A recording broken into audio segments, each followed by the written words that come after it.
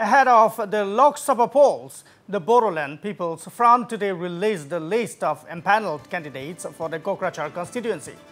The list includes six-time MLA Pramila Rani Brahma, BPF Vice President Kampa Borgoyari and Prithviraj Narayan Dev match. The party will nominate one candidate from this list to contest from the Kokrajhar Lok Sabha seat in the upcoming general elections.